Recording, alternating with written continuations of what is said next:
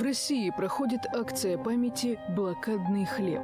В торговых центрах, в магазинах, в школах и пекарнях бесплатно раздают куски ржаного и листовки с информацией. Во время блокады порция в 125 граммов была суточной нормой взрослого человека. Цель акции – напомнить, какой ценой выстояли ленинградцы.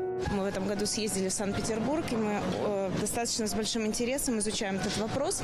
Нет, у нас нет блокадников в семье абсолютно, но эта история настолько хорошо показывает стойкость нашего народа. Повторить рецепт блокадного хлеба невозможно.